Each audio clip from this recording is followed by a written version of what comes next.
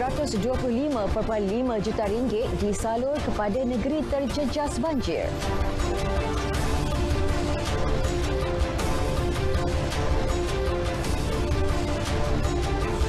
Terminal e-dagang Jalan Darat pertama bakal dibina libatkan operasi import dan ekspor.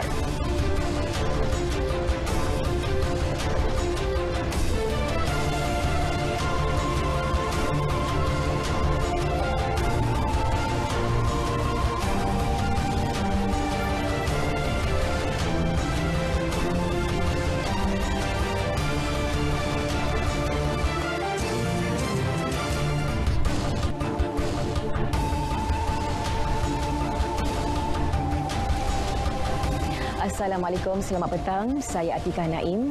Berita wilayah 20 Januari membawakan laporan terkini dari seluruh negara dan seperti biasa lintas langsung dari Sabah dan Sarawak. Turut mengisi berita wilayah hari ini perkembangan berita dari Negeri Sembilan. Terus setia bersama kami.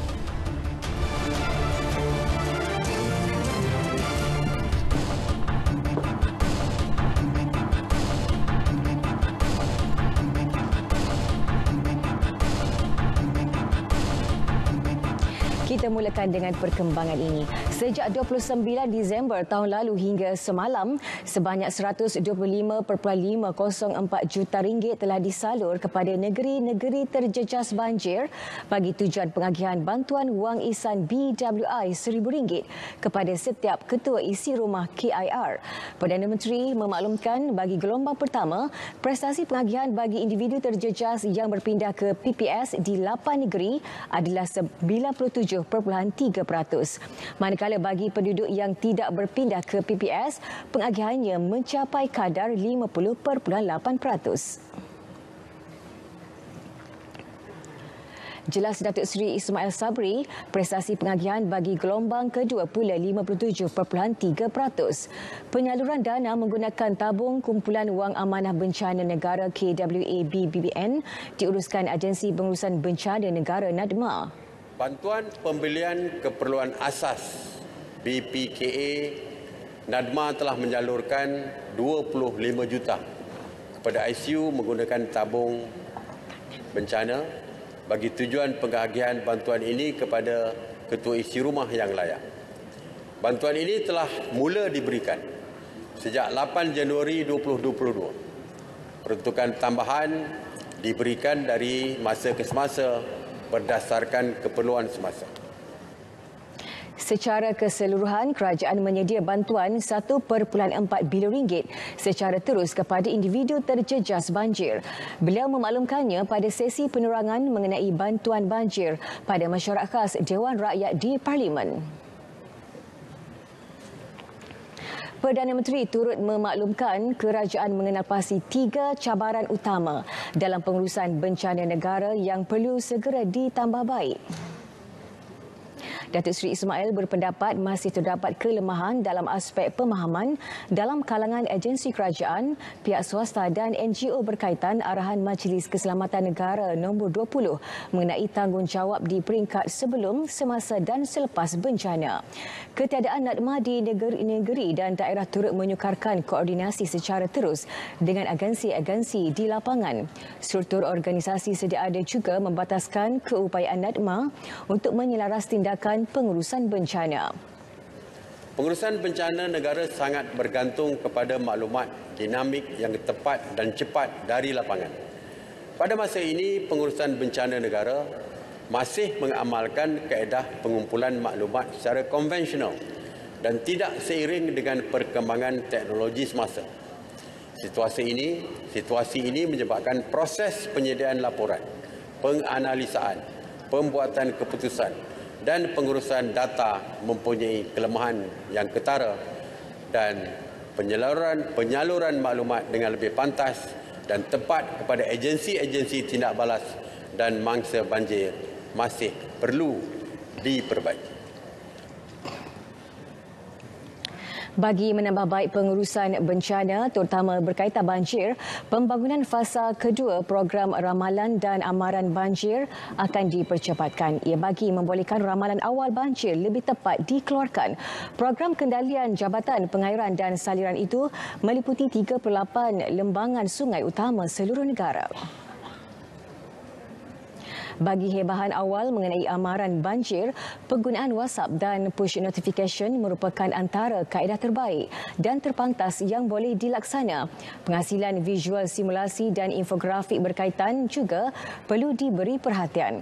Sementara komuniti yang berperanan sebagai first responder perlu diperkasa.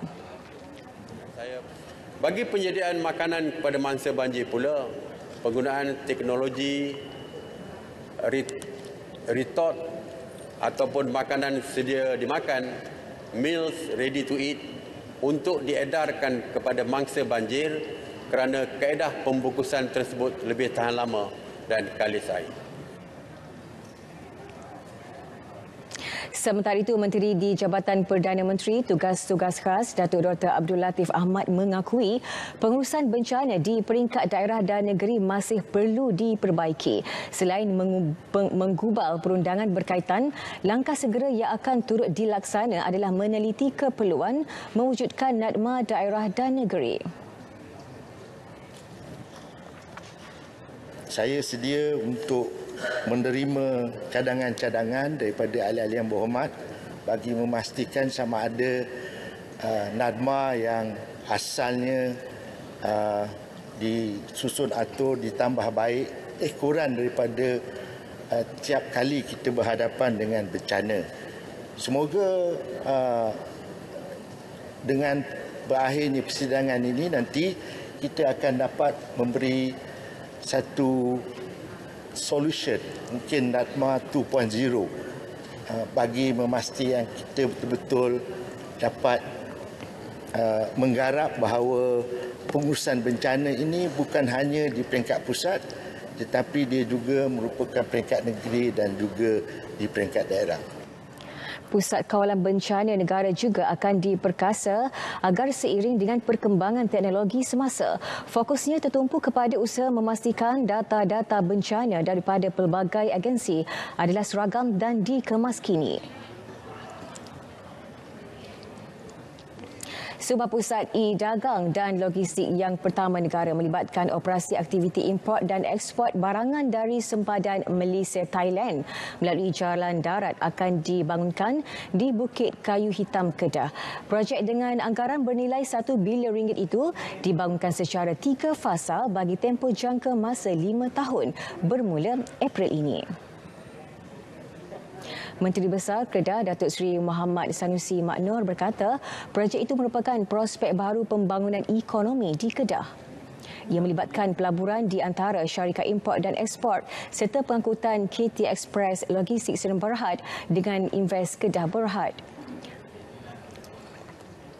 Jutaan terima kasih kepada Datuk Effendi dan KT Express yang telah memilih Bukit Kayu Hitam di Kedah sebagai pusat uh, pembangunan projek-projek baru bagi KT Express yang telah berkecimpung di dalam bidang ini selama lebih 30 tahun dan mereka memiliki uh, gudang di 8 lokasi yang sama sangat strategik. Saya harap pemilihan mereka di Bukit Kayu Hitam ini juga akan membantu untuk mengembangkan lagi uh, operasi syarikat KT Express khususnya mendatangkan limpahan ekonomi uh, kepada negeri Kedah. Beliau berkata demikian pada sidang media selepas majlis prapelancaran Pusat E-Dagang di Wisma Darul Aman Alustar. Turut berlangsung majlis menandatangani perjanjian persefahaman pelaburan antara KT Express Logistik Serang Berhad dengan Invest Kedah. Pembinaan hub e-dagang mampu menjana lebih 1,500 peluang pekerjaan.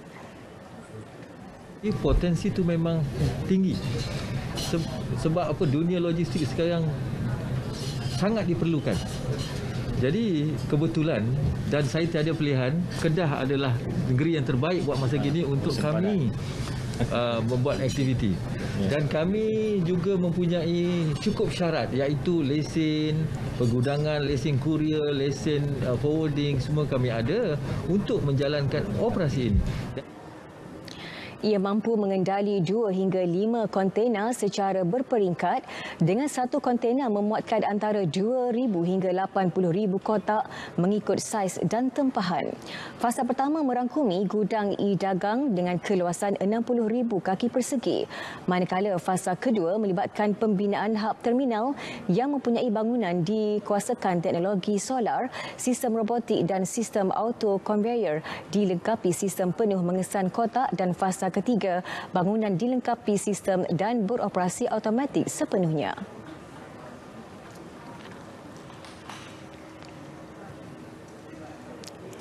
Baik saudara, berita wilayah diteruskan dengan lintas langsung dari Negeri Sembilan.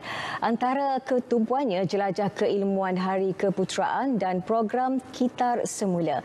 Kita terus saja bersama Syafiq Azrul Zafri di Negeri Sembilan. Syafiq silakan. Satu jelajah keilmuan adat perpatih Gunung Pasir dan ziarah pusaka diadakan sempena Hari Keputeraan yang di-Pertuan Besar Negeri Sembilan Tuanku Muhriz Ibni Almarhum Tuanku Munawir ke-74. Pengarah Lembaga Muzium Negeri Sembilan, Dr. Randes Syamsuddin Ahmad berkata, jelajah berbasikal sejauh 24 km itu bertujuan memberi pendedahan mengenai adat perpatih melalui aktiviti turun padang. Uh, ini julung kali. Kita memang uh, pihak Muzium Sembilan uh, bersama apa kerajaan negeri mengurang dana adat patih uh, Negeri Sembilan. Kita menerpakasa adat melalui jelajah keilmuan. Selain pada ceramah seminar ya, buat uh, perbitan buku inilah pengenalan adat patih melalui jelajah. Iaitu tahu dia tengok pandai dia buat tahu tapi kita pandai sebab kita turun sendiri ke setiap luar. Baru kita komplitlah pengetahuan kita Tambah beliau, program berkenaan turut dimanfaatkan bagi mendekati golongan muda untuk menarik minat mereka mengenali adat perpatih dengan lebih dekat lagi. Jelajah tersebut turut disertai anak anda baginda, Tunku Besar Sri Menanti, Tunku Ali Ridaudin dan Tunku Zin Al-Abidin dengan pelibatan 200 orang peserta. Kadar kitar semula kebangsaan menunjukkan peningkatan positif sebanyak 31.52% sehingga Januari tahun ini. Ketimbalan Ketua Pegawai Eksekutif Pengurusan SW Corp Muhammad Rizwan Abidin berkata, sasaran bagi pengurusan kita semua diletakkan pada kadar 40% pada tahun 2025 akan memberi kesan kepada tapak pelebusan sampah dengan jangka hayat yang lebih panjang. Ia sekaligus dapat menjimatkan perbelanjaan kerajaan. Kita akan teruskan dengan uh, penguasaan lah. Memastikan bahawa setiap rumah tu mengasingkan barang-barang yang boleh kita semula seperti plastik makanan, uh, kertas-kertas yang boleh digunakan lagi tu atau botol-botol tu diasingkan daripada bahan-bahan yang mudah kaput seperti makanan dan sebagainya. Dan uh, denda boleh dikenakan lah kalau bagi siapa yang gagal untuk mengasingkan tu. Beliau berkata demikian pada program Taman Inspirasiku di Lengging. Tindakan di peringkat punca sisa akan diambil dengan memastikan setiap isi rumah mengasingkan sisa yang boleh dikitar semula agar dapat mengurangkan longgokan di tapak pelepusan. Menerusi penguatkuasaan tersebut, ia dijangka dapat mengurangkan longgokan sampah di tapak pelepusan sehingga 60%. Sekian paparan dari Negeri Sembilan. Kembali ke Angkasa Puri. Terima kasih Syafiq untuk perkembangan di Negeri Sembilan. Baik saudara, seterusnya kita ikuti sidang media bersama Menteri Kesihatan Khairi Jamaluddin di Pusat Media Parlimen. Silakan.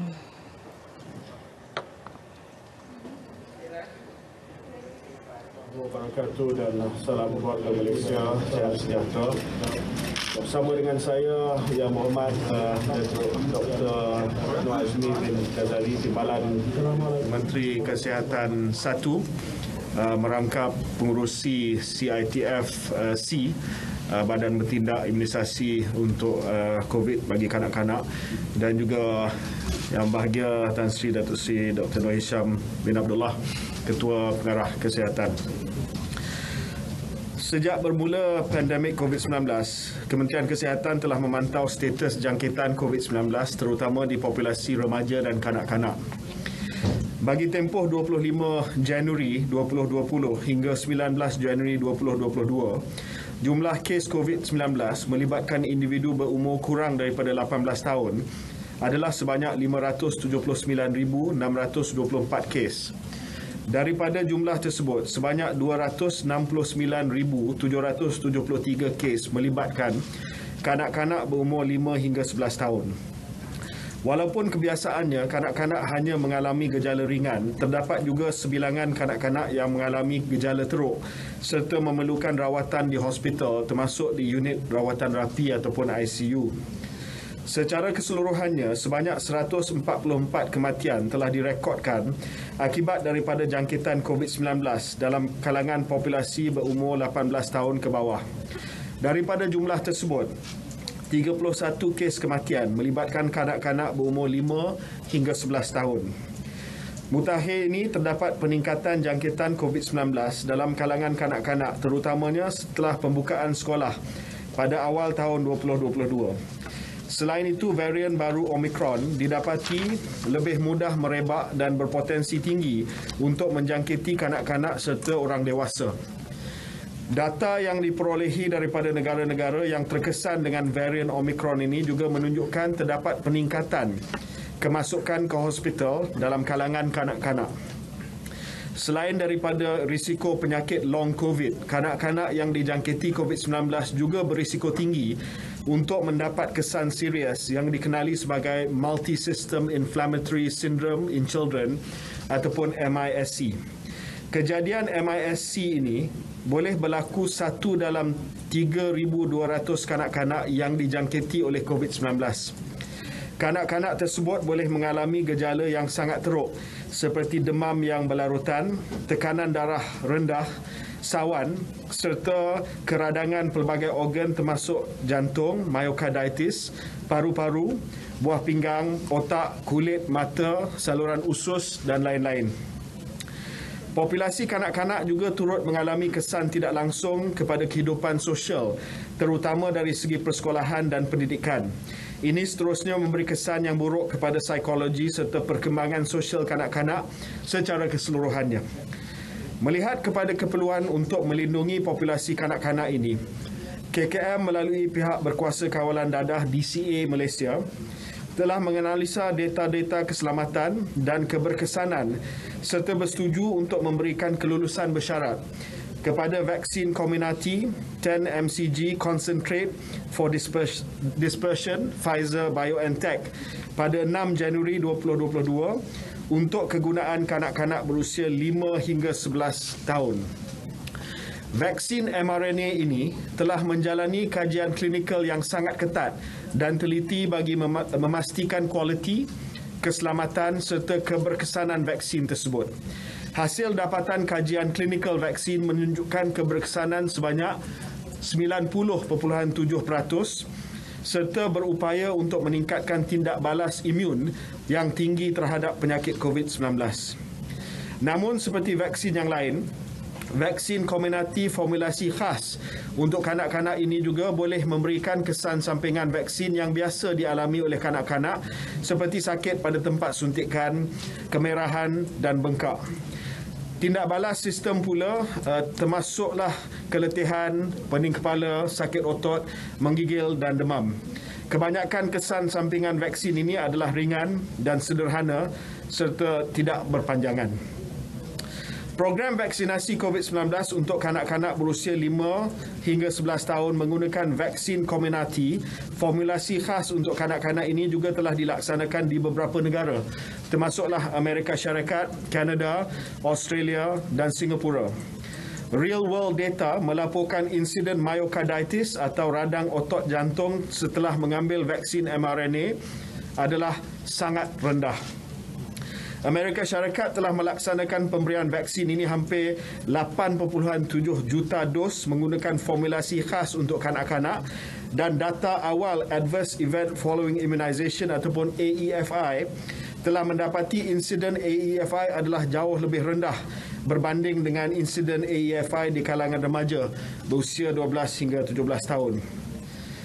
Melihat kepada keperluan untuk memastikan keselamatan kepada kanak-kanak yang akan menerima vaksin COVID-19 ini, KKM akan sentiasa memantau perkembangan terkini, terutamanya pola AEFI tersebut di peringkat global. Buat masa ini, vaksin COVID-19 ini adalah disyorkan bagi kanak-kanak berumur 5 hingga 11 tahun. Apabila dimulakan nanti, pemberian vaksin pada permulaan program akan kita memberi keutamaan kepada kanak-kanak yang mempunyai masalah kesihatan kerana mereka lebih berisiko untuk mendapat penyakit COVID-19 yang teruk termasuklah kemasukan ke hospital dan ke unit rawatan rapi ICU serta kematian.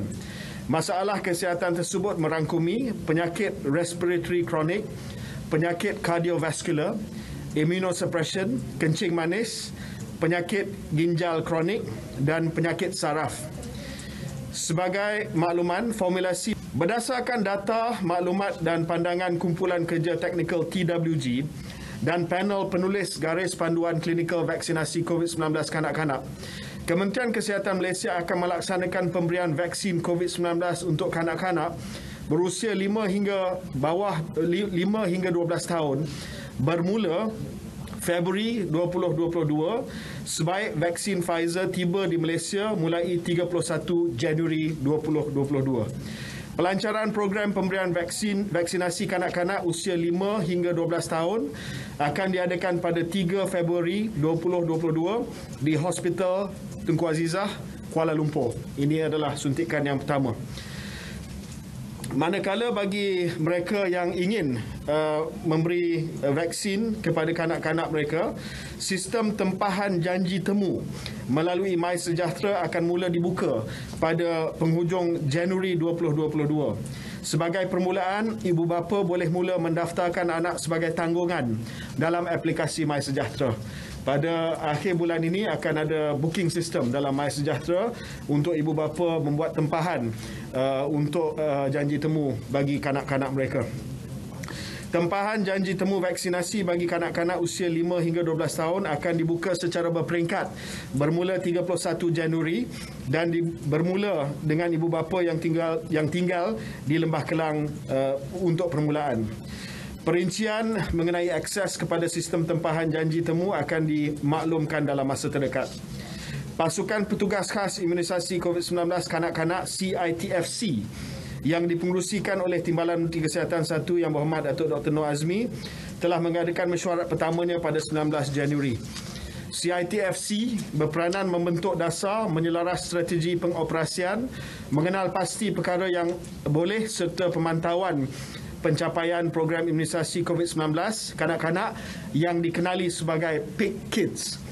Saya ingin mengambil kesempatan untuk memohon kepada majikan supaya memberikan cuti tanpa rekod kepada ibu bapa yang membawa anak mereka untuk vaksinasi dan juga untuk membuat pemerhatian kepada kesihatan anak mereka selepas vaksinasi. Kementerian Kesihatan Malaysia mensasarkan 70% kanak-kanak usia 5 hingga bawah 12 tahun dalam sistem pendidikan dapat diberikan dos satu vaksin Pfizer kanak-kanak dalam tempoh 2 bulan dari tarikh program dilancarkan pada awal Februari dan 80% akan menerima dos lengkap dalam tempoh 6 bulan pelaksanaan. Nanti soalan-soalan lanjut boleh dijawab dan boleh ditanya kepada Datuk Dr. Noor Azmi. Selain daripada itu, saya ingin uh, juga menyentuh soal isu penjualan sijil vaksin.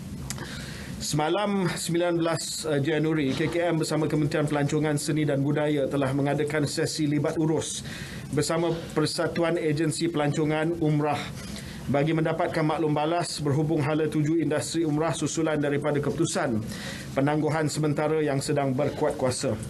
Antara perkara yang dibangkitkan oleh pemain industri pelancongan umrah pada sesi perbincangan libat urus semalam adalah SOP berkaitan pelaksanaan perjalanan umrah, isu bayaran balik dan penjadualan semula penerbangan, pelindungan insurans, garis masa pembukaan semula perjalanan umrah dan bantuan pemulihan kepada industri pelancongan. Pada sesi tersebut, saya dan Yang Berhormat Menteri Motek telah menyatakan komitmen untuk memperincikan dan memperhalusi setiap isu serta cadangan yang dikemukakan di peringkat kementerian masing-masing sebelum membentangkan cadangan penambahbaikan SOP kepada mesyuarat Kotet Menteri COVID-19 akan datang. Antaranya termasuklah proses saringan semasa ketibaan di pintu masuk antarabangsa KLIA, pelaksanaan kuarantin sama ada di stesen kuarantin atau di kediaman dan juga peranan agensi pelancongan umrah sebelum, semasa dan selepas mengerjakan umrah. khusus bagi garis masa pembukaan semula perjalanan umrah kedua-dua kementerian komited untuk memuktamadkan proses penilaian risiko dan SOP perjalanan umrah uh, dan insyaallah untuk kita setuju uh, sekiranya SOP dan juga penilaian risiko dapat dilaksanakan dengan baik untuk kita buka semula perjalanan umrah menjelang pertengahan bulan Februari iaitu uh, bulan depan ya dengan uh, uh, tertakluk kepada penilaian risiko dan juga untuk SOP disetujui oleh semua pihak. KKM amat berharap agar semua pemain industri dapat memberikan kerjasama sepenuhnya bagi memastikan aktiviti umrah dapat diteruskan dan dapat dibuka dalam tempoh masa yang telah pun diarahkan oleh jemaah menteri. Uh, saya juga ada uh, update berkenaan dengan dua lagi. Satu adalah berkenaan dengan tempoh kuarantin bagi pengembara dari luar negara. Kementerian Kesihatan telah melaksanakan perintah pengasingan ke atas pengembara yang memasuki Malaysia dari luar negara termasuk warga negara pemas. Sementara itu KKM juga bersetuju untuk mengeluarkan ini uh, this is uh, announcement on SOP uh, uh, throughout the country yang mana perkara ini akan dibawa ke mesyuarat MKN tapi KKM, KKM telah setuju supaya uh, kita keluarkan penggunaan wajib pengimbas suhu daripada SOP. Jadi selepas dipinda nanti SOP pada sesi kotet yang akan datang tidak lagi diwajibkan uh, untuk uh, uh, premis-premis ada pengimbas suhu lagi. Uh, memadai untuk hanya scan MySejahtera, no more temperature checks. Saya juga ingin maklumkan bahawa dari minggu EPID 1 tahun ini berkenaan dengan kluster pendidikan ya. Uh, dari minggu EPID pertama tahun ini hingga 19 Januari terdapat sejumlah 52 kluster pendidikan melibatkan 30 kluster sekolah menengah. Daripada 30 sekolah menengah tersebut, 27 buah 90% adalah sekolah berasrama.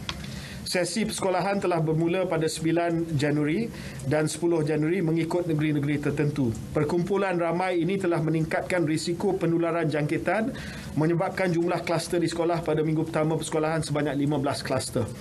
Pada minggu kedua persekolahan bilangan kluster pendidikan meningkat sekali ganda kepada 33 kluster semua negeri. Ada melaporkan kluster kecuali Perlis, Terengganu, Sarawak dan Labuan. Bagi 52 kluster pendidikan yang telah dilaporkan sejak minggu pertama ta- uh, tahun 2022, siasatan mendapati 44 kluster dengan kes indeksnya adalah pelajar. Indeks kes adalah uh, guru atau pensyarah bagi 5 kluster dan staf sokongan pusat pendidikan bagi 3 kluster lagi. KKM juga telah memberi penekanan kepada sektor pendidikan kepentingan untuk saringan bergejala pelajar, guru dan staf sebelum memasuki kawasan institusi seperti asrama. Pengujian RTK antigen ke atas murid, guru dan staf mengikut strategi pengujian COVID-19. Pemerkasaan ibu bapa untuk memantau status kesihatan anak dan bertanggungjawab untuk tidak menghantar anak ke sekolah sekiranya bergejala menjalankan penilaian risiko penularan jangkitan COVID-19 di institusi masing-masing dari masa ke semasa agar tindakan pencegahan dapat disegera diambil.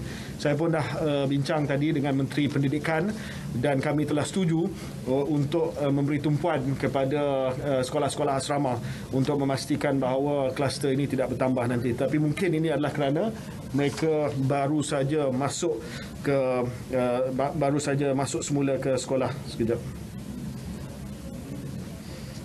Okey.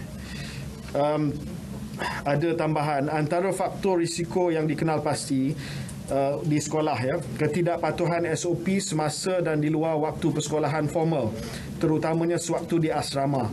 Amalan pemakaian pelitup muka semasa berada di asrama belum di tahap optimal. Pergerakan pelajar yang bebas semasa berada di asrama. Pergaulan rapat semasa pelajar di asrama tiada penjarakan fizikal semasa aktiviti kerohanian. Individu bergejala lewat dikesan, pelajar tidak memaklumkan kepada penyelia sewaktu mula bergejala. Guru bergejala tetapi masih hadir ke kelas dan menyebabkan jangkitan kepada pelajar. Pelajar yang dikuarantin di sekolah tidak mematuhi arahan kuarantin.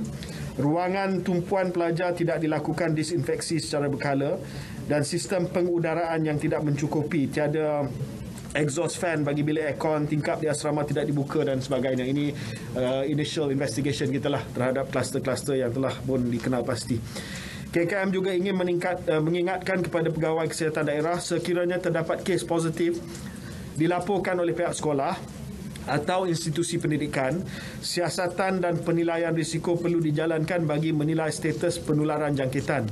Selain itu, tindakan pembersihan dan disinfeksi serta pengesanan kontak perlu dijalankan di samping pelaksanaan aktiviti kawalan dan pencegahan COVID-19.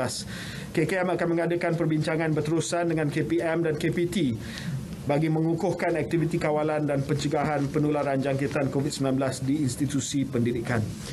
Sebelum saya buka kepada soalan, uh, saya ingin jemput Yang Bahagia Tan Sri KPK uh, untuk uh, memberi penjelasan berkenaan dengan kesan sampingan ataupun AEFI terutamanya bagi kes-kes booster dos dos dos pegalak yang telah pun uh, dilaporkan dalam media baru-baru ini. Silakan Sri. Uh, terima kasih yang berhormat uh, Menteri Kesihatan.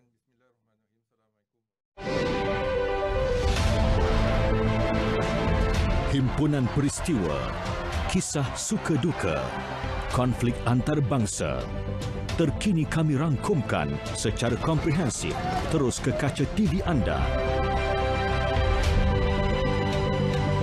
Saksikan berita dunia Isnin hingga Jumaat 11 malam di TV1 dan saluran berita RTM.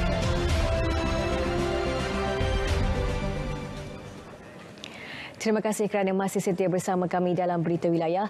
Seterusnya untuk perkembangan cuaca semasa, langsung ke Med Malaysia bersama pegawainya Napizi Mak Napiah. Napizi silakan. Assalamualaikum dan salam sejahtera. Kita mulakan laporan pada petang ini dengan melihat keadaan cuaca semasa. Imej radar menunjukkan keadaan cuaca yang cerah bagi kebanyakan negeri sekitar Semenanjung dengan hujan dan ribut petir, hanya dijangka akan berlaku di sekitar kawasan pedalaman negeri Perak, Lembah Kelang dan juga di sekitar daerah Seremban di negeri Sembilan pada lewat petang sehingga ke awal malam nanti. Berbeza keadaannya untuk negeri Sabah dan Sarawak, hujan lebat dan ribut petir dilihat berlaku di hampir ke semua bahagian untuk kedua-dua negeri berkenaan pada petang ini dan keadaan cuaca yang lembap untuk negeri Sabah dan Sarawak ini dijangka akan berterusan beberapa hari lagi. Malah uh, jabatan kami juga telah mengemaskini amaran hujan berterusan bagi negeri Sarawak membabitkan beberapa bahagian di sekitar barat dan juga utara negeri berkenaan. Hujan lebat yang berterusan dijangka mampu untuk berlaku sehingga esok hari. Oleh itu, orang ramai di sekitar kawasan-kawasan terbabit khususnya mereka yang berada di kawasan berkedudukan rendah dan juga di kawasan yang kerap banjir dinasihatkan supaya sentiasa berwaspada dengan keadaan cuaca semasa. Kita lihat pula keadaan di sekitar kawasan perairan negara. Amaran angin kencang dan laut bergelora telah diturun taraf bagi kawasan-kawasan perairan di sekitar Laut Cina Selatan ini. Namun keadaan ini masih lagi berbahaya untuk sebarang aktiviti perkapalan, perikanan, bot-bot kecil serta aktiviti sukan dan rekreasi laut yang lain. Sekian dahulu info cuaca buat kali ini. Sebelum berpisah, kita lihat tinjauan cuaca bagi bandar-bandar utama di seluruh negara. Assalamualaikum dan salam sejahtera.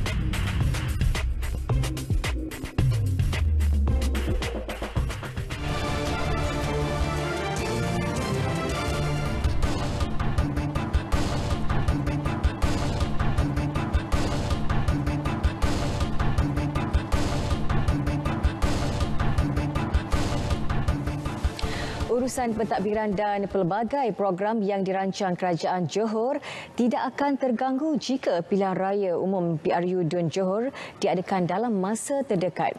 Menteri Besar Datuk Hasni Muhammad berkata ia termasuk inisiatif yang dibentangkan dalam Belanjawan Johor 2022.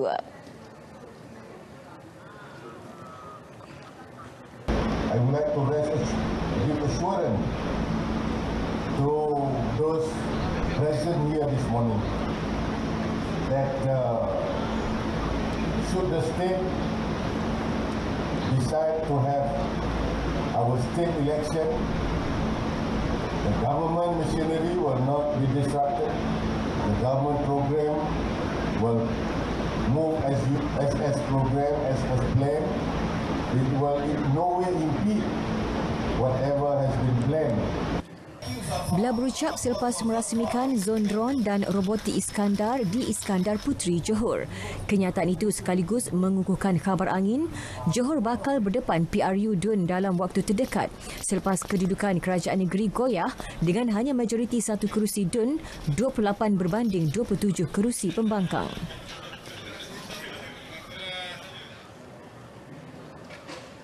Dalam perkembangan lain, inisiatif perjalanan lengkap vaksin VTL Darat Malaysia Singapura melalui Johor Bahru yang ditangguh sebelum ini akan disambung semula.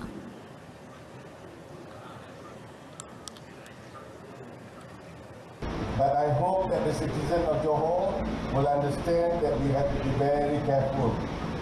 We do not want that the new variant, the new COVID variant, the Omicron to impede our planning and our progress.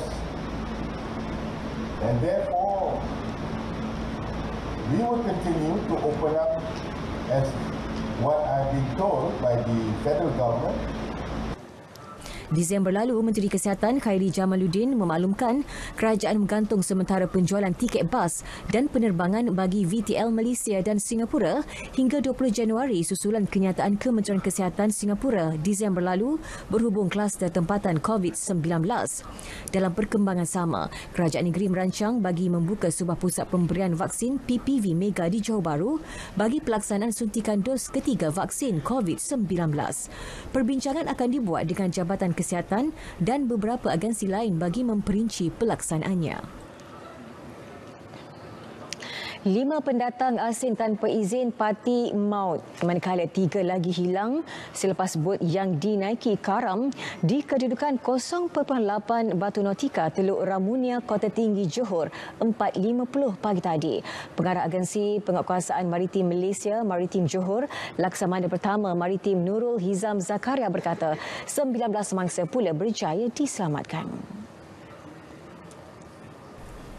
Radar Sistem Pengawasan Laut Maritim Malaysia telah mengesan bot dinaiki 27 parti warga Indonesia itu menuju ke perairan negara dari Pulau Bintan Indonesia dan telah memaklumkan kepada KD Sri Indra Sakti.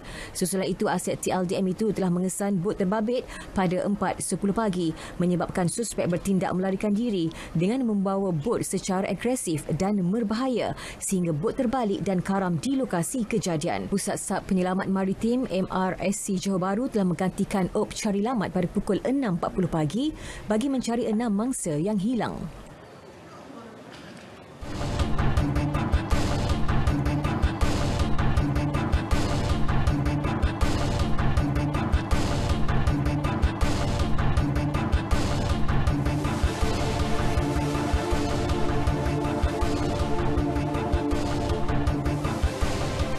Seterusnya kita ikuti perkembangan dari negeri di bawah bayu.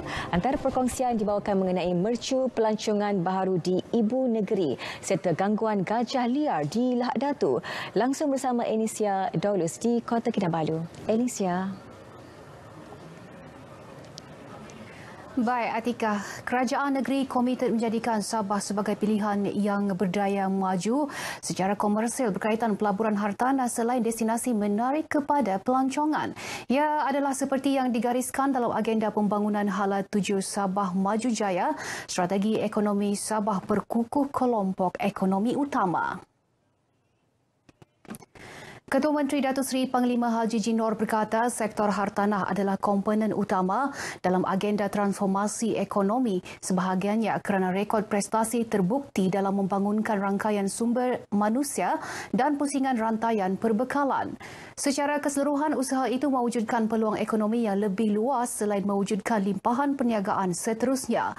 Beliau berkata demikian sempena Majlis Pelancaran Jesselton Key Central JQC di Pusat Konvensyen Antarabangsa Sabah SICC, Kota Kinabalu. Datuk Haji Ji menambah JQC, projek usaha sama antara syarikat berkaitan kerajaan GLC, Suria Capital Holdings Berhad dan SBC Corporation Berhad akan menambah satu lagi transformasi kepada lanskap Pandaraya. Jesselton Key dan Wan Jesselton Waterfront juga akan menjadi pelengkap pembangunan ibu negeri mengubah kawasan dermaga menjadi destinasi berwajah baharu. JQC dibina di kawasan seluas 6.5 hektar di Pelabuhan Kota Kinabalu, terdiri tiga menara komersil, 25 tingkat dan taman rekreasi. Krisis antara penduduk di Felda Sahabat Lahad Datu dengan gajah liar kini semakin menjadi serius dan perlu diberi perhatian. Kehadiran kira-kira 20 ekor gajah baru-baru ini sekaligus mencetuskan kebimbangan dan keselamatan penduduk di sana. Ikuti laporan wartawan Tamrin Jamil di Lahad Datu. Tindakan sekumpulan gajah liar didapati sering masuk ke kawasan kampung Sahabat 4 dan 5 di Lahad Datu menjadikan penduduk kampung terpaksa berjaga sepanjang malam sejak beberapa hari lalu. Saya amat risaulah kedatangan uh, kedatangan gajah ini. Mungkin hari ini dia hanya merusakkan tanaman kita. Ini akan datang yang kita risaukan ini mencederakan lagi ataupun merusakkan rumah-rumah peneroka yang ada di sini. Aku tidak tidur. Kali lama-lama aku keluar pergi dapur. Aku tengok tidak ada juga dalam rumah. Sekali aku masuk bilik cucuku.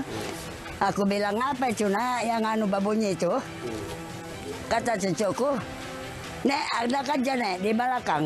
Jadi kami tengoklah dari jendela. Pergi luar lah mga budak. Rupanya ngam-ngam di situ di dekat pondok itu. Yang anu tuh, yang gajah. Uh, saya bimbang ini gara-gara ini gajah ini selalu malam-malam datang di dekat rumah ini. Di, di kacaunya semua tanaman-tanaman.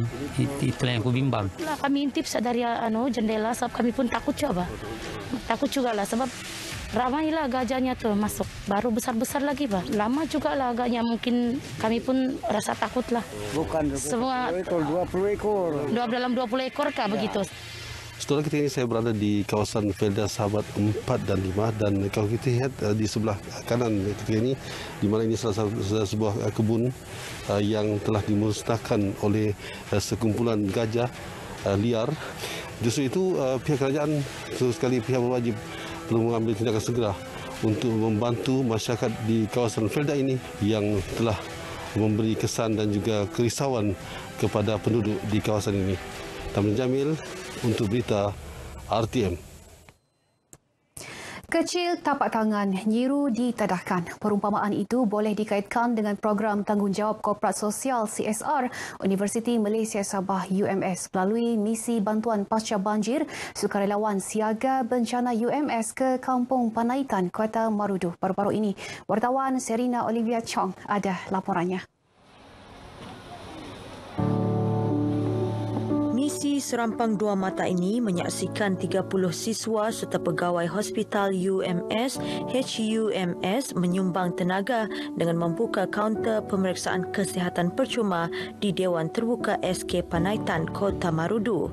Tiada makna yang lebih besar diiringi senyuman dan penghargaan ikhlas sedikit sebanyak menjadi sirna kemaslahatan terutama berkaitan kesihatan penduduk kampung diketuai Timbalan NEP Chancellor Hal Ehwal Pelajar dan Alumni Profesor Madya Dr. Rahman Nordin turut diadakan gotong royong melalui konsep keluarga Malaysia.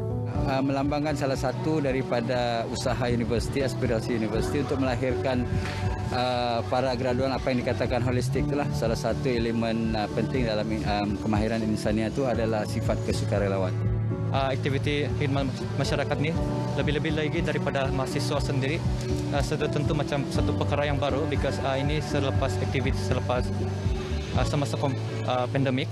Jadi kami pada program kali ini uh, kami dapat melihat sendiri macam mana projek ini dapat dijalankan melalui pembersihan di sekolah ini dan juga bersama dengan komuniti di sini. Program-program macam ni sebaik-baiknya diteruskan dan uh, apa ni baik untuk masyarakat terutama masyarakat di luar bandar. Kita faham kemudahan-kemudahan itu kurang. Jadi kita yang mempunyai kemudahan yang lengkap ni yang orang bilang adalah kita bawa um, turun ke padang. Dalam program ini uh, tentu banyak manfaat yang kami dapat. Pertama, um, kami dibantu dengan uh, pembersihan terutamanya. Kami dapat uh, sekolah kami bersih kembalilah dengan masyarakat kampung. Sudah tentu mereka pun dapat manfaat juga. Pertama kali uh, program ini diadakan di Sekolah SK Panetan. Jadi terlebih dulu saya ucap terima kasihlah. Um, saya bawa budak-budak family di sini pos untuk check up kesehatan lah. Memang dia sangat terbukti lah untuk konsep Malaysia di mana ya keluarga Malaysia di mana kita boleh nampak daripada umur muda pada hari ini kita boleh nampak mereka berada di sini sehinggalah ke usia warga emas. Mana kasi kau ngayon kung gila emas to nakalikat ngayon detail lah. Sa sana nga sa langit. Macam yang siap tekanan darah, kancing manis, dan amir air kancing tu bagus juga lah. Sebab ada memperiksa macam yang penyakit apa-apa. Kebanyakan saya macam yang tidaklah susah jalan-jalan jauh. Inilah masa untuk kita tampil bersama-sama untuk membantu masyarakat yang memerlukan khususnya mereka yang berhadapan dengan bencana. Jika HMS yang terdiri daripada golongan anak muda dan warga pendidik mampu menunjukkan semangat keluarga Malaysia, anda bila lagi. Serina Levia Chok, RPM. Ya, ini pula mengenai susulan hujan yang berlaku sejak malam tadi di Sandakan. Beberapa kejadian tanah runtuh dan kawasan dinaiki air dilaporkan sejak pagi tadi. Menurut Pusat Gerakan Operasi PGO Jabatan Bomba dan Penyelamat Malaysia JBPM Sabah, pihaknya menerima panggilan kecemasan tanah runtuh di Kinabatangan pukul 9 pagi. Kejadian ini melibatkan tebing sungai runtuh dan mengancam keselamatan sebuah rumah penduduk. Pasukan bomba bertindak memasang sawar-sawar dan menasihati pemilik rumah agar berpindah. Turut berlaku kejadian tanah runtuh dilaporkan di Kampung Gas dan Taman Pohing Jalan Batu Sapi Sandakan. Namun kejadian tersebut tidak melibatkan nyawa ataupun harta benda. Dalam pada itu, PGO turut memaklumkan Balai Bomba dan Penyelamat Sandakan bersama agensi penyelamatan lain melakukan pemantauan di Taman Pohing, Kampung Gum-Gum Sri Manis, Batu 16, Kampung Pertanian Garinono dan gum-gum besar sandakan yang dinaiki air. Bagaimanapun keadaan masih terkawal dan pemantauan diteruskan sekiranya hujan berterusan. Bulan Sabit Merah Malaysia BSMM Cawangan Keningau bersama tiga pengusaha tempatan menyumbang berupa barangan makanan limau mandarin dan angpau kepada 65 pesakit buah pinggang kronik di salah sebuah klinik swasta di Keningau sempena sambutan Tahun Baru Cina 2022. Penasihat BSMM Cawangan Keningau, Galisin Amboy memberitahu, meskipun tidak dapat menemui pesakit secara bersemuka disebabkan prosedur operasi standard SOP, diharapkan sedikit sebanyak memberi motivasi penerima. Kita mau merapatkan our relationship dengan pesakit dan juga ah, apa ni ini dialisis sistem masa pandemik ini memang jarang-jarang kita jumpa dengan orang kan sekarang pun tidak boleh jumpa. So dengan acara ini saya rasa kita boleh merapatkan sedikit kita punya silaturahim. Sejak ini klinik dibuka pada tahun uh, 2016 uh, Jun, Jun, kita ada seramai lebih kurang 12 pesakit dan sekarang semakin bertambah ramai kepada 65 pesakit. BSMM turut menasihatkan orang ramai agar tingkatkan kesedaran menjaga buah pinggang melalui gaya hidup sihat serta pengambilan makanan yang seimbang. Baik, sekian paparan dari negeri di bawah Bayu. Saya Enisia Dollars kembali bersama Atika Naim di Angkasa Puri. Silakan Atika. Terima kasih Enisia untuk perkembangan di Sabah. Peranan pasukan penyelamat penting dalam mengawal sebarang insiden yang berlaku termasuk kemalangan di laut. Justru latihan bersepadu adalah perlu dalam menjalin kerjasama dan persefahaman dengan pihak berkaitan. Pengarah Agensi Penguatkuasaan Maritim Malaysia APMM Sabah dan Labuan Laksamana Pertama Maritim Datuk Muhammad Rosli Abdullah berkata ini bagi memperkukuh jaringan komunikasi dan pendedahan berkait Search and Rescue Action Plan dengan jabatan dan agensi penyelamat lain. Di samping itu latihan dapat mengkoordinasikan operasi penyelamatan dengan cekap dan teratur sekiranya berlaku insiden sebenar. Beliau berkata demikian ketika berucap merasmikan penutupan Labuan Search and Rescue Operation Exercise 2000 2022 Zon Maritim Labuan di Labuan. Tambahnya latihan seumpama itu juga untuk menilai tahap kesiapsiagaan, aset-aset penyelamat dan reaksi semasa dalam menangani sebarang kecemasan di laut. Latihan berlangsung tiga hari di Labuan disertai pegawai dan anggota dari 13 buah jabatan dan agensi terlibat membabitkan dua fasa iaitu fasa daratan dan fasa di laut. Sejak 2007, APMM Zon Maritim Labuan selaku agensi penyelaras mencari dan menyelamat telah merekodkan 105 kes operasi cari lamat di laut setakat ini.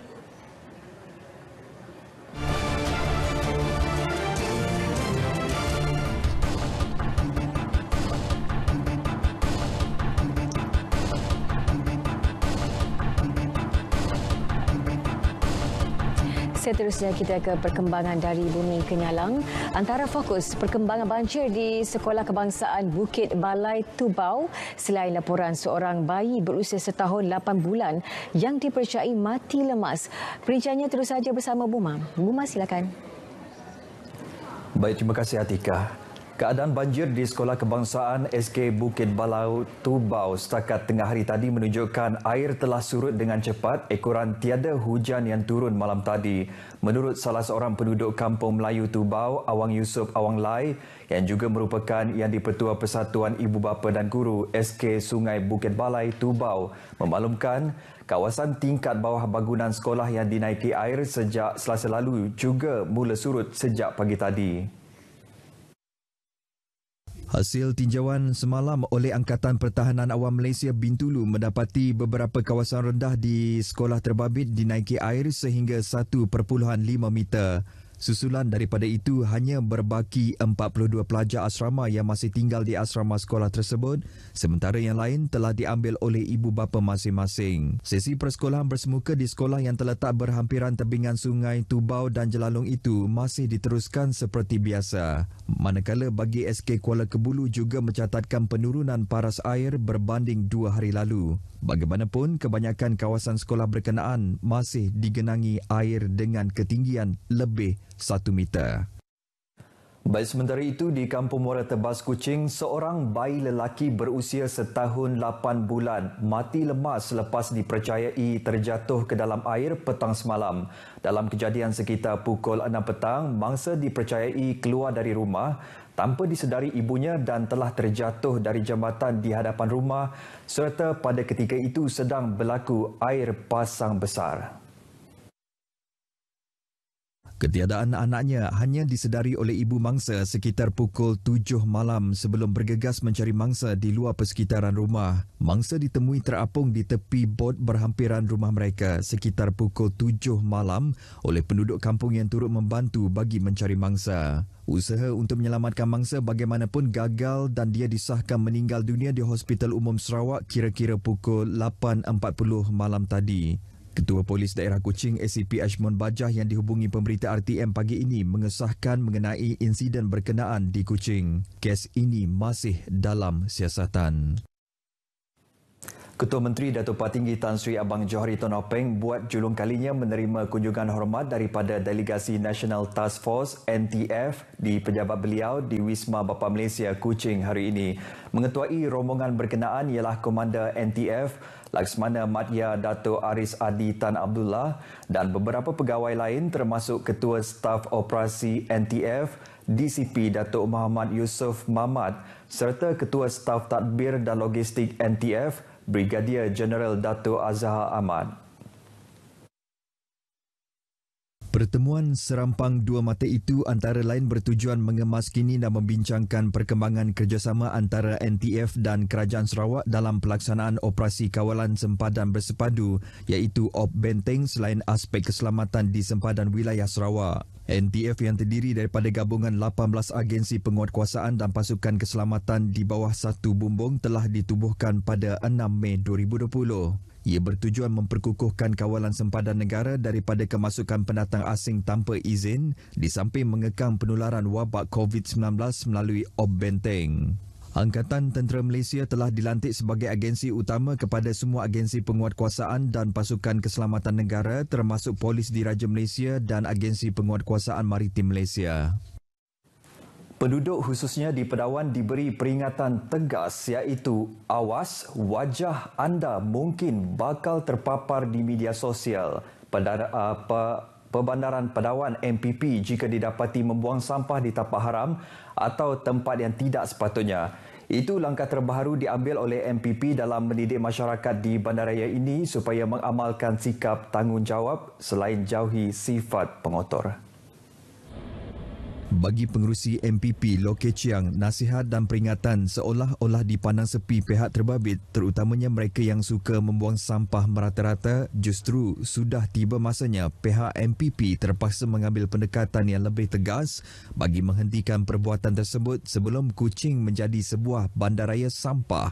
You stand very far away and you can zoom the vehicle that is dumping rubbish, the car plate number, zoom it, you sign it to me.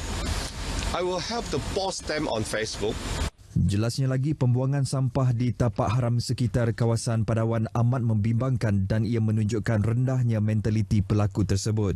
Ditemui pemberita di tapak pembuangan sampah haram di Batu Enam, Kota Sentosa, tambah beliau lagi, masalah ini sudah berlaku sejak 35 tahun lepas walaupun pelbagai inisiatif dan kempen kebersihan mahupun fasiliti pembuangan sampah disediakan namun masih berlarutan hingga kini. Tinjauannya bersama media di tapak itu juga mendapati banyak sampah dilonggokkan di tapak terbabit sejak lebih setahun lepas. Selain menyumbang kepada keadaan persekitaran yang kotor, ia juga berpotensi mengundang pelbagai penyakit. Beliau yang juga ahli Dewan Undangan Negeri Batu Kitang turut mendedahkan terdapat lima tapak pembuangan sampah haram iaitu di Jalan Kangkok Batu Kawah, kawasan Kuching City Mall, Jalan Arang, Jalan Ensing Timur dan Jalan Kung Ping Ulu.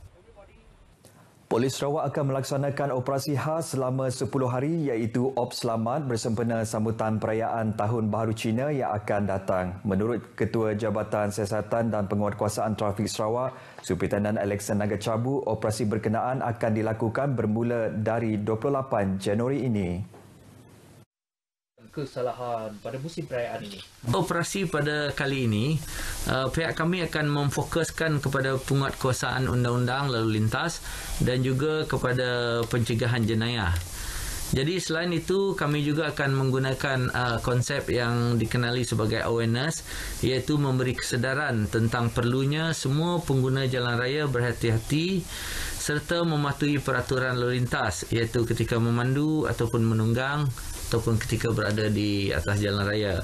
Bagaimanapun beliau menegaskan polis tidak bertolak ansur dengan mereka yang melakukan kesalahan lalu lintas yang menyumbang kepada berlakunya kemelangan jalan raya. Ini termasuk kesalahan memandu melebihi had laju, memotong di garisan berkembar dan melanggar lampu isyarat merah. Superintendent Alexan berkata demikian ketika ditemu bual menerusi program seleksi konti yang bersiaran secara langsung di Sarawak FM. Sementara itu, Majlis Pelancaran Op Selamat berkenaan akan diadakan di Pasaraya Fale, Batu Nam Kuching pada 26 Januari hari ini dan Pesuruhjaya Polis Sarawak Datuk Aidi Ismail dijangka menyempurnakan pelancaran tersebut.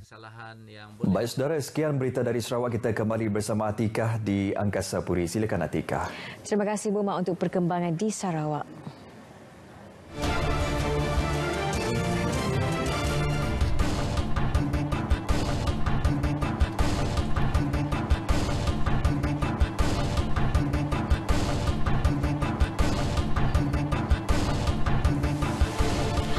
Dibungkus menggunakan bungkusan teh Cina sebelum dimasukkan dalam guni. Modus operandi terbaru penyeludupan dadah dari perairan pantai Terengganu. Bagaimanapun, taktik itu dikesan pihak berkuasa dengan merampas 17 paket berisi ketulan hablur jernih disyaki dadah jenis syabu seberat 18.7 kg di tepi pantai Rukubur Jambu Bongkok Marang. Ketua Polis Negeri Datuk Rohaimi Mat Isa memaklumkan rampasan itu hasil penemuan orang awam selepas terserempak dengan tiga suspek yang sedang mengangkat guni dalam keadaan tergesa-gesa sebelum melarikan diri dengan sebuah kenderaan. Suspek dipersyai sindiket pengedaran dan penyeludupan dadah melalui pesisir pantai Terengganu sebagai transit. Siasatan mendapati guni yang dihanyutkan dari perairan itu ditanda menggunakan pangcang kayu sebelum diambil untuk diedarkan sebelum itu telah beberapa hari, tiga atau empat hari sebelum tu beliau telah perasan ah, ada satu jenis uh, sampan ataupun bot lah. Bot yang dilihat bukannya bot tempatan ah, uh, berada di kawasan tersebut. Jadi kita percaya MO baru ni iaitu mereka telah uh, melepaskan guni tersebut melalui uh, pantai uh, dan telah memaklumkan kepada uh, pihak sindiket di Malaysia untuk mengambilnya ah. kerana itu kalau kita tengok ada teritip dan juga ada pelampung yang terikat pada guni tersebut jadi mereka maknanya mereka bukanlah berhubung secara direct dengan pengedar tempatan Kejayaan rampasan itu dinyatakan dalam sidang media di Ibu Pejabat Polis Kontingen Terengganu. Malaysia Rail Link Sdn Bhd MRL menyasarkan kadar kemajuan projek laluan rel Pantai Timur ECRL mencapai 37.04% sehingga hujung tahun ini. Ketua Pegawai Eksekutif MRL Datuk Seri Darwis Abdul Razak berkata, setakat Disember lepas, kadar keseluruhan pembinaan projek telah mencapai 26.49%. Pihaknya optimis projek berkenaan mampu disiapkan mengikut jadual ditetapkan iaitu pada Disember 2026 dan boleh memulakan operasi Januari 2027. Kita akan uh, insyaAllah cuba untuk uh, mencapai progres yang lebih baik pada tahun 2022 ini dan kita maklum 22, 2022 ini adalah tahun yang bagi kritikal kepada projek kita uh, dan kita harapkan dengan komitmen daripada semua pihak di peringkat negeri Kelantan ini akan dapat memajukan lagi projek kita dengan dengan lebih baik, mendapat progres yang lebih baik selepas ini. Beliau berkata demikian pada sidang media sempena program Mesra ECRL untuk dekati komuniti Kelantan di Pusat Inovasi Kraft Batik Tunjung, Kota Baru, Kelantan. Program bertujuan mendekati komuniti di sepanjang jajaran ECRL serta meningkatkan kesediaan penduduk yang bakal menikmati manfaat pembangunan infrastruktur nasional itu. Semua pelanggan yang disyaki menerima sijil vaksinasi palsu dari sebuah klinik swasta di Marang Terengganu telah disekat status My Sejahtera. Sekatan dilakukan selepas semakan mendapati 1,223 daripada lebih 1,900 dokumen yang dirampas dalam serbuan baru-baru ini tidak pernah menerima suntikan vaksin COVID-19. Kesemua butiran pelanggan telah dihantar kepada vendor untuk dikemaskini status My Sejahtera masing-masing.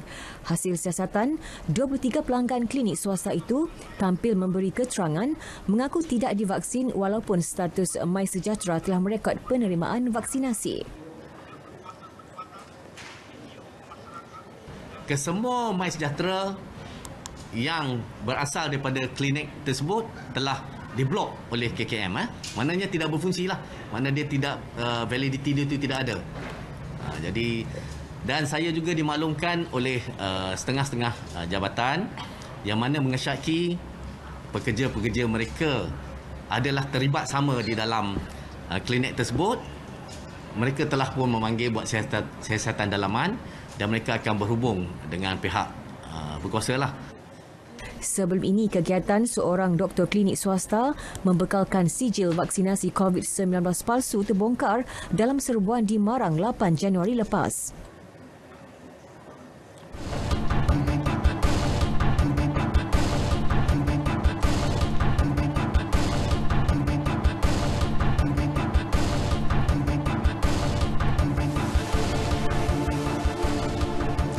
Pihak berkuasa tempatan PBT di Perak diminta mengambil langkah proaktif bagi mengatasi masalah banjir di kawasan masing-masing. Menteri Besar Datuk Seri Sarani Muhammad berkata mereka perlu lebih kerap turun padang bagi mengenal pasti punca kejadian.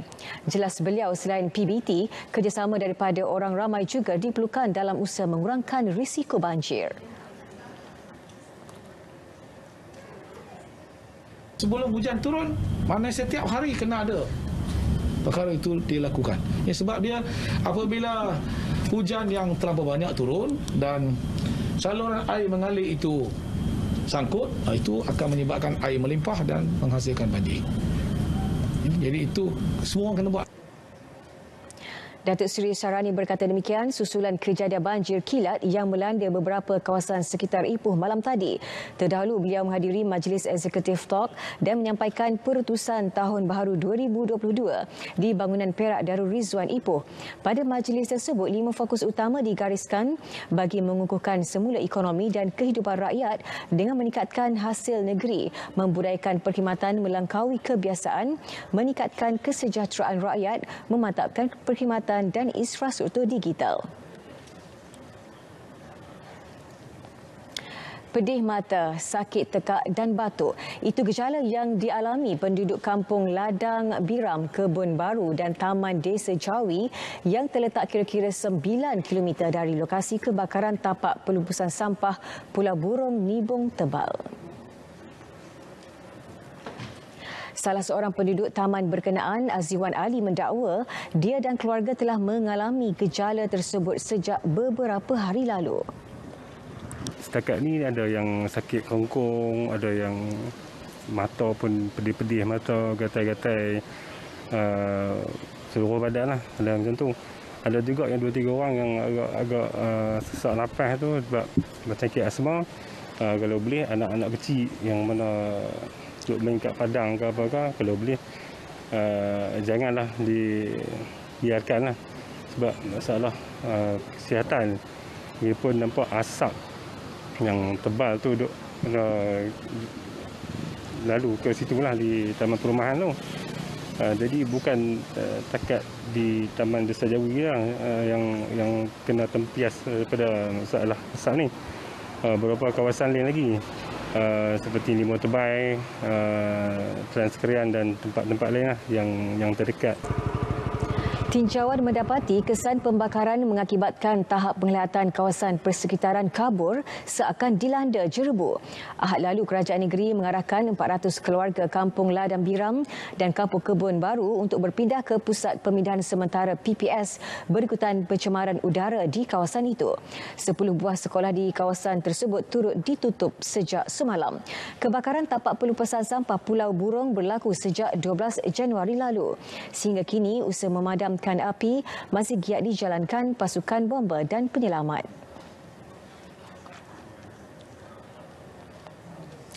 1,120 pelajar sekolah menengah di Kedah disahkan positif COVID-19 bagi tempoh 1 Januari hingga hari ini. Kesemua mereka melibatkan 9 kluster aktif dengan satu lagi kluster baru iaitu kluster dah teratai Chinggap. Kenyataan Pengarah Kesihatan Negeri Dr. Osman Warijo memaklumkan kluster dah teratai jingga melibatkan Maktab Mahmud Alustar mencatatkan 18 kes positif COVID-19. Kluster melibatkan institusi pendidikan di Kedah mula direkodkan pada 11 Januari lalu iaitu kluster dah Cik Bema. Ia diikuti kluster seterusnya pada 17 Januari iaitu kluster dah Jalan Merbau melibatkan warga Kolej Mara Kuala Nerang. Pada 18 Januari Februari, tiga lagi kluster baru diistihar masing-masing kluster dah penyarum di Maktab Mahmud Pendang, kluster dah Teluk Teduri melibatkan warga MRSM Baling dan kluster dah Jalan Pantai di SMK Kota Kuala Muda. Dan semalam, tiga lagi kluster baru diistihar iaitu kluster dah Padang Haiban melibatkan kumulatif 25 kes membabitkan warga sekolah menengah kebangsaan SMK Changlun di Kubang Pasu dan kumulatif 37 kes melibatkan kluster dah Sungai Kop iaitu membabitkan warga SMK Sungai Kop di Kulim. Selain itu, kluster dah Sungai Limau melibatkan kumulatif 27 kes membabitkan warga sekolah menengah agama SMA Saadah Al-Diniyah Al-Islamiyah di Yan yang melibatkan daerah Yan, Kota Star dan Padang dan Pendang. Apa yang anda cari bila suatu perkabaran diragui? Tentunya sumber informasi pasti. Seiring evolusi teknologi, platform maklumat dan interaksi.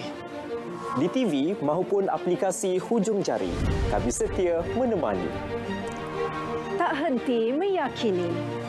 Mendokong fakta, menolak dusta. Inilah realiti implikasi bila yang tersebar tiada medium penjelasan sebenar. Kerana setiap peristiwa yang terjadi boleh mengundang salah persepsi. Inilah sebab mengapa kami di sini merungkai isu membawa fakta. Percayalah, tanpa kebenaran tiada hari yang sempurna. Hilangkan ragu, lenyapkan persoalan. Kami sumber rujukan anda. Berita perdana setiap hari 8 malam. Sahih dan berimbang.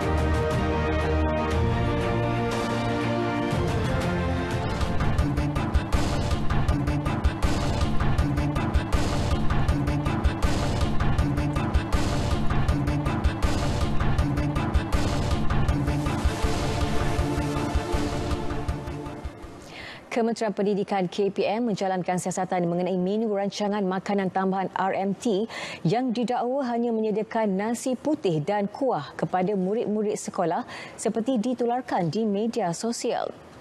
Menteri Kanan Pendidikan Datuk Seri Datuk Datuk Dr Razi Jidin turut mengarahkan supaya sekolah terlibat dikenal pasti.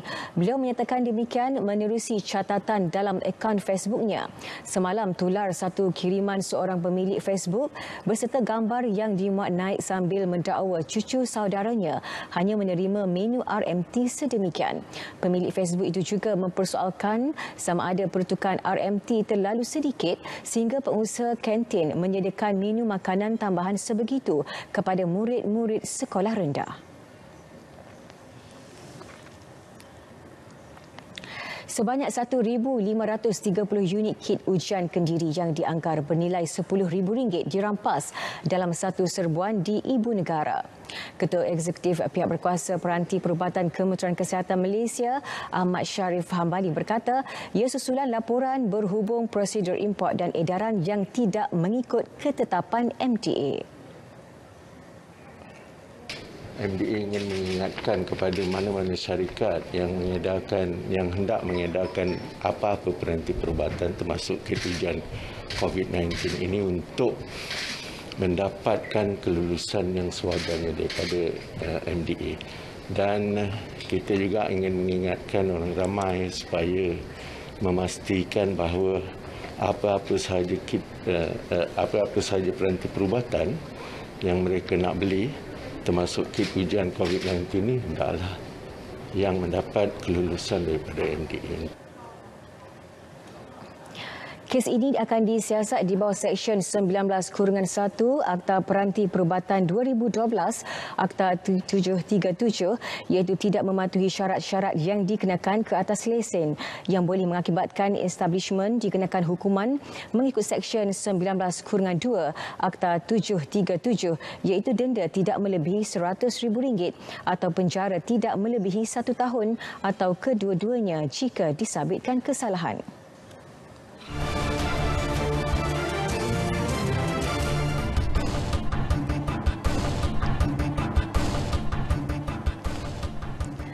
ke perkembangan sukan. Bekas pemain nombor satu dunia Roslin Hashim mempersoalkan integriti Persatuan Badminton Malaysia BAM susulan trend pemain-pemain yang semakin ramai meninggalkan badan induk berkenaan.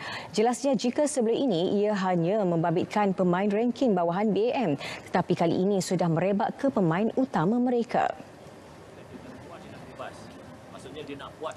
Roslin berpandangan situasi ini ada kaitan dengan pengurusan badan induk berkenaan. Terbaru juara All England 2021 Lee Zijia turut meninggalkan badan induk berkenaan menerusi surat bertarikh 11 Januari lalu. integriti BM ni ah, hmm. dah dah dah muka dah, dah tercalar lah orang cakap kan. Hmm. Kita tahu Lizija ni siapa. Hmm. Kan? Persoalangan utama negara. Hmm. Ha, dia bukan persoalan yang kelima ke enam negara. Kan? Dan juga uh, akhir-akhir ni beberapa uh, bulan sebelum ni pun dah ada beberapa pemain yang keluar. Hmm. Kan? Ha, seperti apa Chiam Jung Wei, uh, Go Jin Wei uh, dan juga apa Tan Kiam Meng. Sorry to say, benda ni dah lama, dah lama berlaku dalam BM sebenarnya. Uh, kepincangan uh, mungkin uh, dari segi pengurusan. Kan? Uh, di dalam BM ada masalah lah maksudnya. Roslin menambah Zijia mungkin tidak akan membayar pampasan kepada BAM kerana beberapa pemain seperti Gi Hin Wei juga sebelum ini keluar dari persatuan tanpa membayar sesin.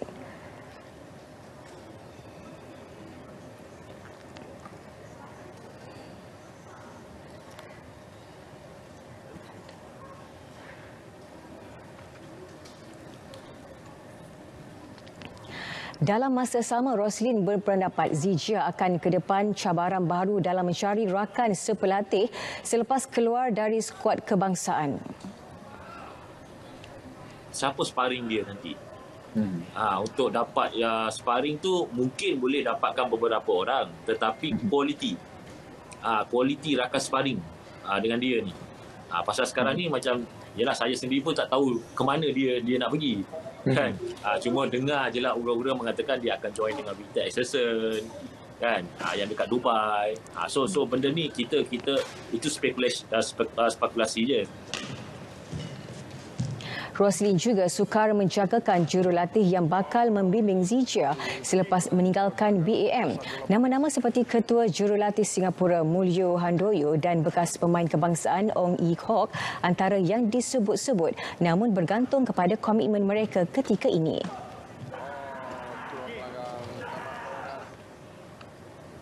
Konfederasi Hoki Malaysia KHM menerusi jawatan kuasa pembangunannya Majlis Sukan Negara MSN dan Kementerian Pendidikan Malaysia KPM menganjurkan bengkel pemantapan program pembangunan hoki negara NHDP.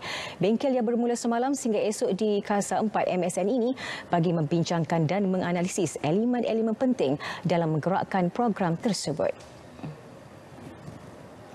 Bengkel itu melibatkan 170 peserta dalam kalangan Ketua Jurulatih Remaja Negeri, Wakil Jatan Pendidikan Negeri JPN, Wakil Persatuan Hoki Negeri dan Jurulatih separuh masa. Mereka akan memberikan pandangan serta idea bagi memantapkan lagi program tersebut. Perasmian telah disempurnakan oleh Presiden KHM, Datuk Seri Subahan Kamal. Objektif pengajuran bengkel ini adalah untuk menganalisis dan mempertingkatkan pelan program NHDP serta memastikan usaha untuk membangunkan pergerakan sukan hoki di Malaysia dapat diselaraskan. Dalam pada itu, pengajuran bengkel ini juga sebagai salah satu langkah untuk memastikan sinergi antara program NHDP bersama Persatuan Hoki Negeri, Jabatan Pendidikan Negeri dan Pusat Latihan Program NHDP terus kukuh.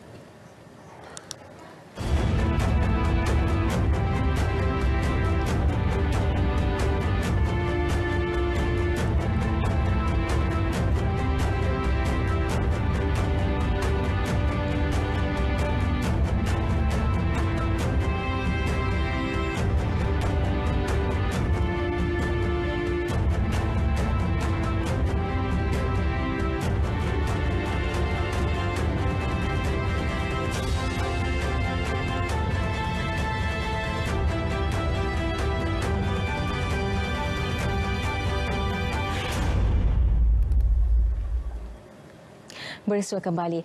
Peralihan dari musim tengkujuh ke musim kemarau memberi impak besar kepada petani padi pulut di Langkawi Kedah. Justru bagi mengekalkan signature produk Pulau Legenda itu, Kementerian Pertanian dan Industri Makanan Mafi bersedia mengatasi isu berkenaan. Laporan Muhammad Najib Masyur. Projek pemasangan paip merupakan langkah drastik Mafi dalam usaha mengatasi isu tanah sawah padi pulut yang kontang. Mula dilaksanakan minggu ini, Jabatan Pengairan dan Saliran JPS Daerah Langkawi diberi tanggungjawab itu. Ketua Setiausaha Mafi, Datuk Haselina Abdul Hamid mengakui keperluan itu selepas perbincangan bersama dengan JPS Daerah Langkawi berkaitan isu air tidak sampai ke kawasan penanaman padi pulut sekitar 38 hektar. Bersama dengan lebih kurang 15 orang peserta yang terjejas ya uh, tanamannya. Dan um, yang ini di sini insya-Allah kita akan uh, saya juga telah pun berbincang dengan pihak JPS tadi JPS uh, Langkawi untuk melihat ya antara isu-isu utama yang telah dikenal pasti isu pengairan lah ya. Pengairan air tak ada lah punca air tak ada dan juga uh, tak sampai ke kawasan yang telah kita um, kenal pasti untuk padi pulut ni lah ya senario itu hanya dihadapi sebahagian kecil daripada 320 orang peserta penanaman padi pulut. Peserta sebelum ini menyuarakan kebimbangan masing-masing, kini yakin dengan penyelesaian yang disediakan pihak berkaitan. Ah, dan pihak GPS sedang berusaha bersama dengan pihak pertanian untuk meminimalkan kawasan kering. Ah, macam pagi tadi pun kita dah buat gotong royong di satu kawasan untuk takung air untuk dipam untuk dialirkan uh, ke ke apa ke uh, kawasan-kawasan padi yang telah kering. Masalah empangan ini, keperluan empangan untuk keseluruhan Langkawi bukan saja di sini saja, keseluruhan Langkawi uh, petani perlu empangan untuk membolehkan mereka menanam padi dengan selesa lah. Bukan macam sekarang mengharapkan hujan. Harapan saya ni kalau boleh minta bagi pihak-pihak berkenaan cuba tolong selesaikan masalah kami di sini lah petani-petani ni kan. Kalau contoh macam uh, sistem uh, sistem peparitan ni kalau boleh bagi elok ha. Lepas tu uh, kalau ada takungan boleh buat takungan bagi kita macam macam yang orang nak minta tu kan. Ha, itulah kita harap-harap sangatlah kalau boleh. Tanah sawah padi pulut berdepan isu kering kontang ini adalah penanaman bagi musim kedua tahun 2021. Baik, mengikut kepada perancangan asal, beras padi pulut ini akan boleh dituai pada Mac 2022. Namun melihat kepada situasi semasa pada ketika ini di Langkawi, panas berpanjangan mengakibatkan dan juga merunsingkan lagi para petani yang mula terlibat dalam penanaman ini seawal tahun 2019 yang lalu. Mafi dalam pada itu turut menjelaskan bahawa tindakan segera akan diambil dalam usaha mengurangkan lagi kerugian yang ditanggung oleh para petani. Muhammad Najib Mansur, Berita RTM.